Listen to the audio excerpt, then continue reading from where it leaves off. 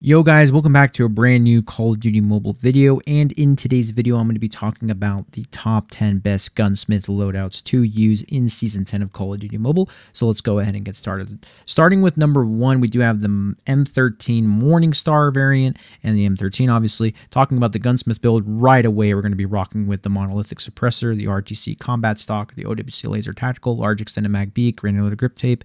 This gunsmith build hits home in all departments it works wonders. Make sure to use it.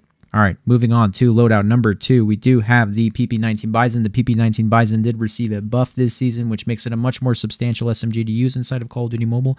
So therefore, we're going to put it in this list.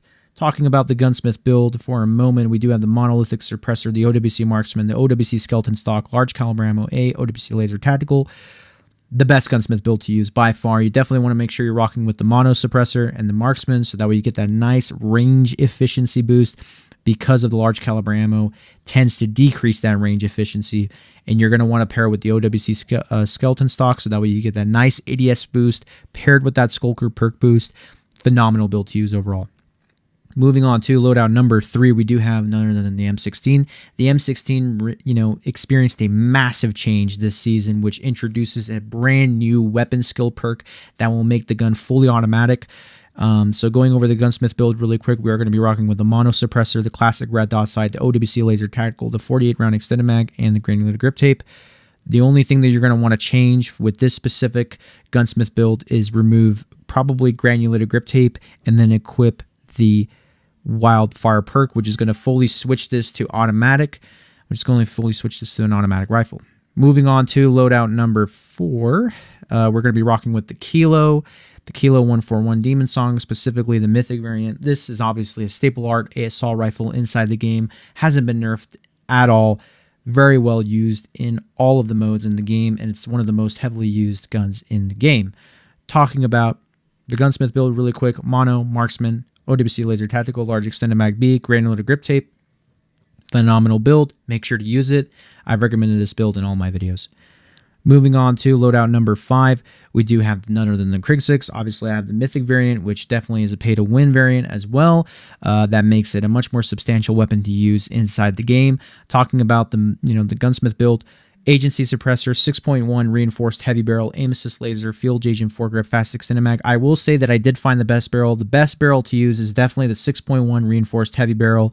It gives you a 20% range and I mean boost in bullet, bullet velocity and 20% range boost as well. So it basically hits home in both areas. You're definitely going to want to use a barrel that's going to give you a range boost and a bullet speed boost. And mm, like I said, you're going to definitely want to use this specific barrel. It does wonders once you get used to the recoil control of this gun. It's amazing. Hits hard.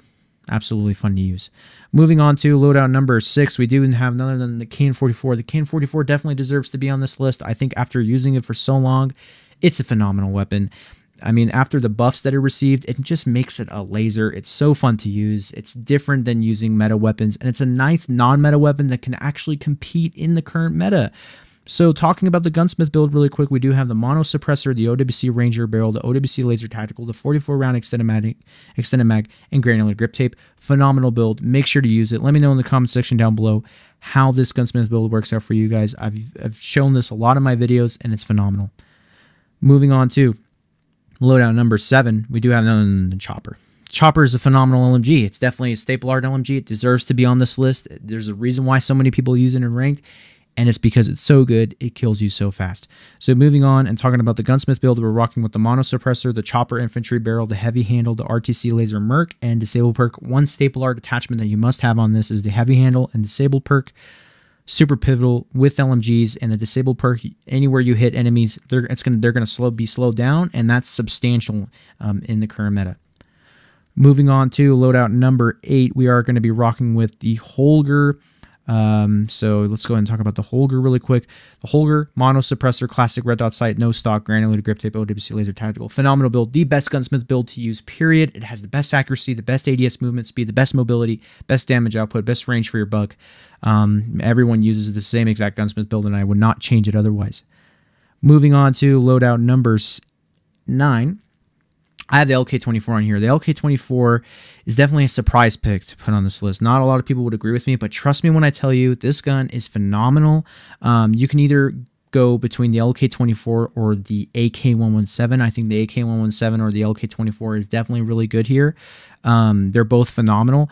And this is more of a personal preference pick of mine because, like, I love the LK, and I think after the buffs it received, it definitely deserves a spot because it's just, a, like I said, a nice non meta weapon to use that can actually compete in the meta. It's very similar to the KN44. So, talking about the LK24, right? Mono suppressor, marksman, classic red dot, 40 round extended mag, OWC laser tactical, phenomenal. This thing lasers people like no tomorrow. I promise you to use this. I showcased this exact same gunsmith build in one of my gunsmith videos and like I said, a lot of people liked it. A lot of people loved using it. They had a great response to it, a great, um, you know, sort of, you know, delegation towards it.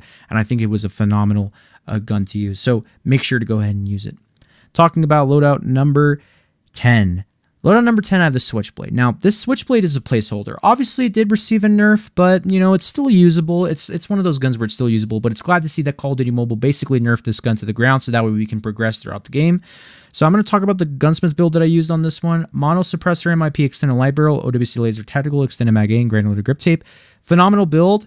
Um, you know, after the you know nerfs that it hit, it's kind of you know it doesn't really pack a punch, but it's still annoying to play against still, right? So it still has that annoyance. Now, I will replace this gun with the Lapa SMG. The Lapa SMG is a phenomenal gun to use. I think it's phenomenal. The Lapa SMG would definitely be on the spot, but of course it is currently locked and we don't have access to the attachments quite yet currently in this area of the game. But like I said, the Switchblade is a placeholder currently right now for the Lapa SMG. Just know that the Lapa SMG would be in my top 10 list because it's a really good weapon that's going to be coming to COD Mobile. So yeah, but anyways guys, that's going to be it for the top 10 best loadouts in the current season of Call of Duty Mobile, specifically for Season 10. Let me know in the comment section down below what you guys think of these gunsmith loadouts and overall what you guys think of the meta in Call of Duty Mobile. And if you guys have made it towards the end of the video, please leave a like, comment, and subscribe, and I'll see you guys uh, in the next one. Peace.